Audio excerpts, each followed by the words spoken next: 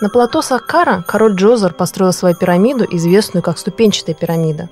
Его архитектор Имхотеп добавлял одну ступень за другой, пока не стало шесть ступеней в форме пирамиды. Вся структура составляет 121 метр в длину от востока к западу и 109 метров от севера к югу. Высота пирамиды 59,64 метра.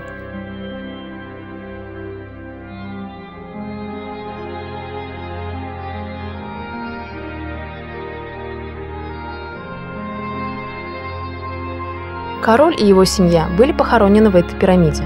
Погребальный храм и здание короля Джозера позади той стены были построены для проведения фестивалей и религиозных ритуалов.